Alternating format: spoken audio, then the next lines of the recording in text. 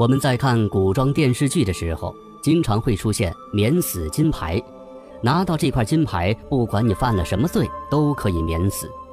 那么，电视剧中的免死金牌在历史上真的存在吗？真的可以免死吗？免死金牌正规的叫法应该是丹书铁券。所谓的丹书铁券，是指古代帝王颁授给功臣重臣的一种特权凭证。颁授丹书铁券的制度最早始于汉高祖刘邦。根据史料记载，早在西汉时期，汉高祖刘邦夺取政权之后，为了巩固其统治、笼络功臣，颁给功臣丹书铁券作为褒奖。这个铁券就相当于荣誉证书，记载着每个人的功绩和奖励。内容大概就是某某大臣在某年某月为国家做出了怎样的贡献，因此封他当一个什么官儿。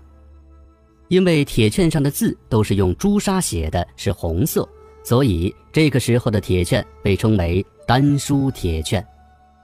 但是在当时，丹书铁券还没有免罪和免死的承诺，仅仅是一种封侯的凭证。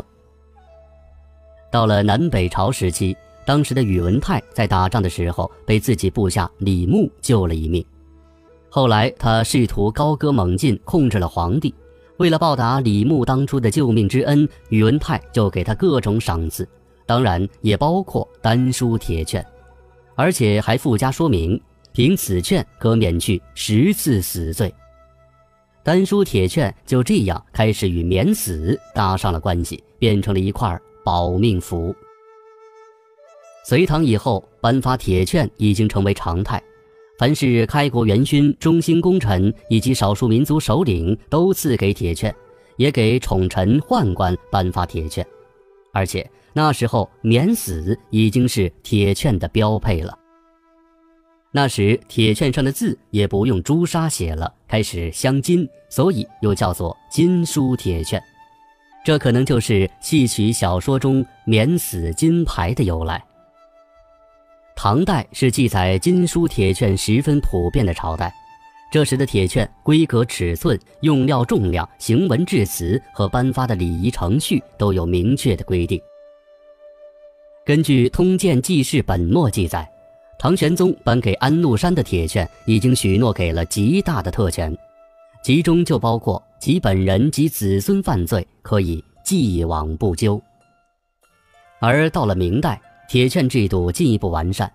明太祖朱元璋从法律上规范了丹书铁券的颁授对象，仅限于立有军功、被封为公、侯、伯的勋臣。明代金书铁券分为七等，各等铁券大小不一，最大的公爵一等铁券高一尺，宽一尺六寸五分，其他各等铁券大体是每等在高和宽两方面都递减五分。所有的铁券都是一式两件，一件授予获赐者，而另一件藏于内府。在需要查验时，只要将它们放在一起，便可以立辨真伪。洪武三年，朱元璋大封功臣，